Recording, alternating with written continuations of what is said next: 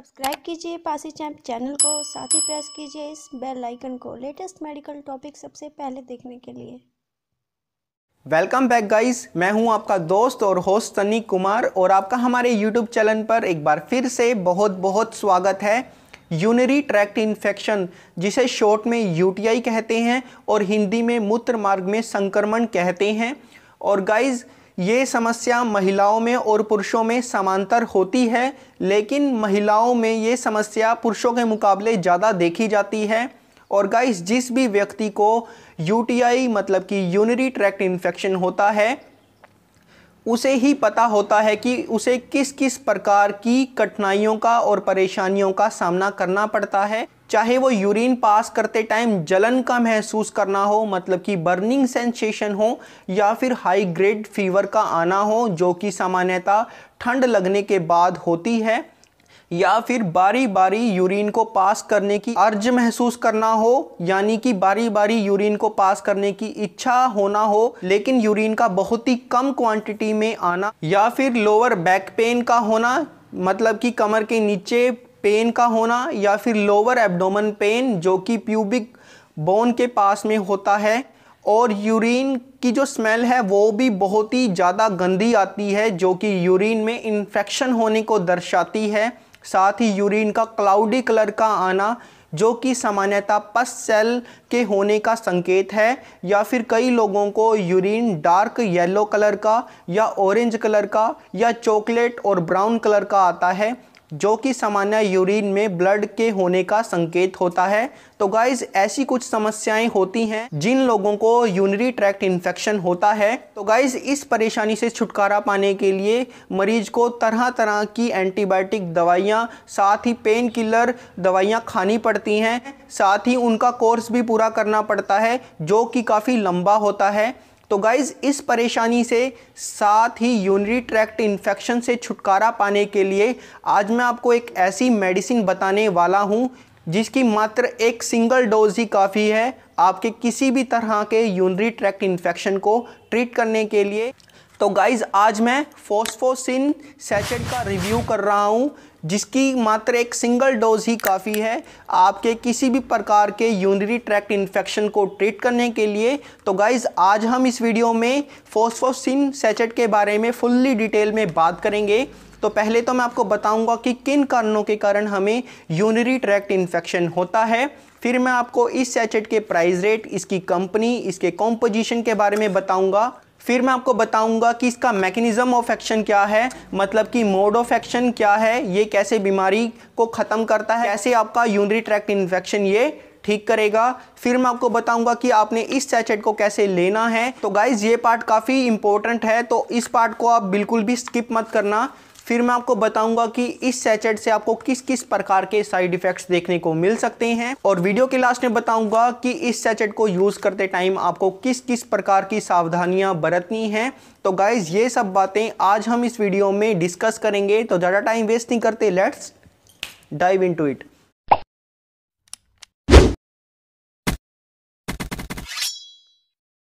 तो गाई सबसे पहले तो मैं आपको वो कारण बताता हूँ जिसके कारण लोगों को सामान्यतः यूनरी ट्रैक्ट इन्फेक्शन मतलब कि यूटीआई होता है। तो गाई सबसे बड़ा कारण है बॉडी का डिहाइड्रेट रहना मतलब कि आपका बहुत ही कम मात्रा में पानी का पीना।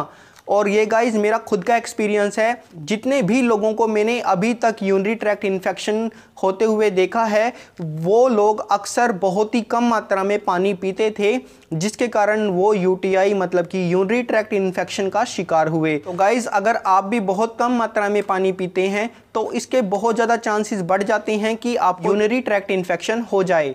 आगे जो दूसरा कारण है, वो है कैथेटराइजेशन जी हाँ जिन लोगों को कैथेटर डला होता है उनको यूनरी ट्रैक्ट इन्फेक्शन होने का रिस्क बहुत ही ज़्यादा होता है। इसीलिए हॉस्पिटल में भी आपने देखा होगा कि जिन लोगों को कैथेटर डला होता है, उन्हें जल्दी से जल्दी कैथेटर को रिमूव करवाने की सलाह दी जाती है। और गाइस जो तीसरा कारण है, वो है यूरिन को ज़्यादा समय तक होल्ड रखना। और वीडियो की शुरुआत में मैंने आपको बताया भी था कि महिलाओं में पुरुषों के मुकाबले ज़्यादा यूटीआई होने की समस्या देखी गई है। उसका यही कारण है कि महिलाएँ ज़्यादा समय तक यूरिन को होल्ड रखती हैं। एक्चुअली गाइस यूरिन को पास करते टाइम एक प्राइवेसी चाहिए होती है। जो महिलाएँ जॉब करती हैं ऑफ़िस में या फिर जो ट्रैवल करती हैं, उनको ज़्यादा समय तक यूरिन को होल्ड करके रखना पड़ता है, जिसके कारण वो यूटीआई की शिकार हो जाती हैं। तो गाइस जो चौथा कारण है, वो है आपकी अगर यूनरी सिस्टम से रिलेटेड किसी भी प्रकार की कोई सर्जरी हुई है तो इसके काफ़ी ज़्यादा चांसेस हैं कि आप यूनरी ट्रैक्ट इन्फेक्शन के शिकार हो सकते हैं। और गाइस, जो पांचवा कारण है, वो है प्राइवेट एरिया का हाइजीन ना रखना। जो लोग साफ़ सुथरा नहीं रखते अपने प्राइवेट पार्ट को, उनको यूनरी ट्रैक्ट इन्फेक्शन होने के चांसेस बढ़ जाते हैं। और ये भी एक कारण है कि महिलाओं को पुरुषों के मुकाबले ज़्यादा यूनरी ट्रैक्ट इन्फेक्शन होता है, क्योंकि महामारी के टाइम हाइजीन रख पाना काफ़ी मुश्किल हो जाता है, जिसके कारण बैक्टीरिया को अपनी ग्रोथ करने का सोर्स मिलता है और महिलाएँ जो हैं यूनरी ट्रैक्ट इन्फेक्शन की शिकार हो जाती हैं। तो गाइज़ ये कुछ कारण थे जिनके कारण लोगों को यूनरी ट्रैक्ट इन्फेक्शन होता है। लेकिन इस पर एक डेडिकेटेड वीडियो हमारे चैनल पर आएगी। तो प्लीज़ आप हमारे चैनल को सब्सक्राइब कर लें, साथ ही बेल आइकन को भी प्रेस कर लेना, ताकि जब भी कोई नई वीडियो हमारे चैनल पर अपलोड हो, उसकी नोटिफिकेशन आपको सबसे पहले मिले। तो गाइज़ वीडियो कंटिन्यू करते हैं और मैं आपको बताता हूँ कि इसका जो रेट है वो कितना है? तो गाइज़ इसका जो प्राइस है वो टू सेवेंटी नाइन रुपीज़ का है और जो इसकी कंपनी है वो है एरेस्टो और जो इसका कॉम्पोजिशन है वो है फोस्फोमाइसिन ट्रोमेटामोल जो कि आपको तीन ग्राम में मिलता है। साथ ही अगर आपको ये फोस्फोसिन के सैचेट अगर आपको नहीं मिल रहे तो आप डिस्क्रिप्शन बॉक्स को भी चेकआउट कर लेना। वहाँ पर मैंने पूरी की पूरी एक लिस्ट दी है। तो आप किसी अदर कंपनी का भी सैचेट ले सकते हैं। और गाइज़ ये मैंने खुद ने चूज़ करके लिस्ट बनाई है तो आप उसको भी यूज़ कर सकते हैं। काफ़ी अच्छा रिज़ल्ट देखने को मिलता है। तो गाइज़ ये तो बात थी इसके इंट्रोडक्शन की। आगे बात करते हैं इसके मोड ऑफ़ एक्शन की मतलब कि ये काम कैसे करता है।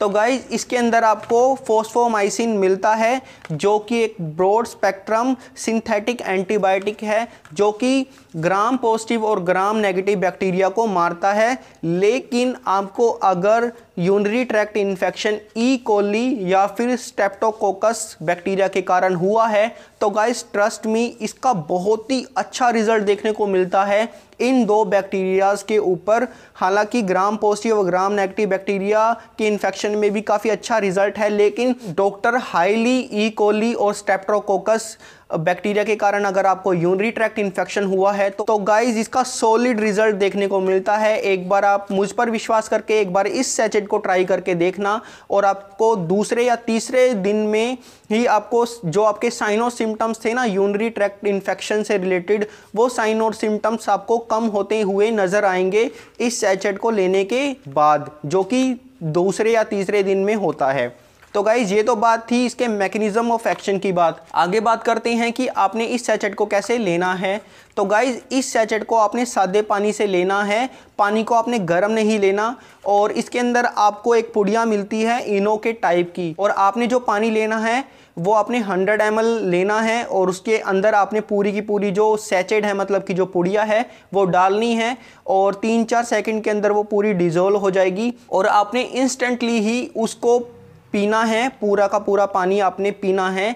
तो गाइज़ ये तो तरीका था कि आपने इस सैचेट को कैसे लेना है। और गाइज़ जो मैं मेरे पेशेंट्स को एडवाइस करता हूँ कि वो किस प्रकार इस सैचेट को लें। तो गाइज़ मैं मेरे जो पेशेंट हैं, उनको रात के समय सोने से पहले बोलता हूँ कि वो एक बार यूरिन को पास कराएँ, ताकि उनका जो यूनरी ब्लैडर है, वो खाली हो जाए। उसके बाद वो 100 एम पानी लें।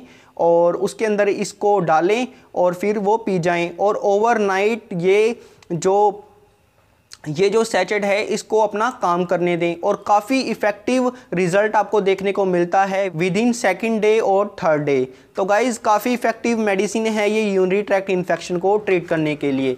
तो गाइज़ ये तो तरीका था कि आपने इसको कैसे यूज़ करना है। आगे मैं आपको बताता हूँ कि इस सैचेट को यूज़ करने पर आपको किस किस प्रकार के साइड इफ़ेक्ट्स देखने को मिल सकते हैं। तो गाइज़ इस सैचेट को यूज़ करने पर आपको सिर में दर्द dizziness tachycardia abdomen pain nausea vomiting skin rashes या फिर आपको फैटिक जैसी कुछ समस्याओं का सामना करना पड़ सकता है। तो गाइज़ ये तो बात थी इसके साइड इफ़ेक्ट्स की। आगे बात करते हैं कि आपने इस सैचेट को यूज़ करते टाइम किस किस प्रकार की सावधानियाँ बरतनी हैं। तो गाइज़ अगर आप एक ब्रेस्ट फीडिंग मदर हैं, तब आप इस सैचेट को यूज़ ना करें। साथ ही आप अगर लीवर डिज़ीज़ किडनी डिज़ीज़ या हार्ट के पेशेंट हैं, तब भी आप इस सैचेट को यूज़ ना करें। आप इस सैचेट को यूज़ करते समय एक बार अपने डॉक्टर से कंसल्ट कर लें। और गाइज़ एक पॉपुलर क्वेश्चन है जो कि इस सैचेट से रिलेटेड पूछा जाता है, वो है क्या इसे प्रेगनेंसी के टाइम यूज़ कर सकते हैं? तो गाइस ये जो मेडिसिन है, ये कैटेगरी बी की मेडिसिन है तो आप इसे बेनिश्चिंत होकर प्रेगनेंसी के टाइम यूज़ कर सकते हैं। लेकिन फिर भी अगर आप चाहते हो तो आप अपने डॉक्टर से एक बार इस बारे में कंसल्ट कर लें। तो गाइज़ आज की जो हमारी वीडियो थी वो फोस्फोसिन सेचेट के ऊपर थी और मैंने हर टॉपिक को कवर करने की कोशिश करी है। लेकिन फिर भी अगर आप किसी भी तरह का कोई क्वेश्चन पूछना चाहते हो तो आप हमें कॉमेंट कर सकते हैं। तो गाइज़ मुझे दीजिए इजाज़त, मैं मिलता हूँ आपसे अगली वीडियो में एक इंटरेस्टिंग टॉपिक के साथ। तब तक के लिए स्टे हेल्दी स्टे फिट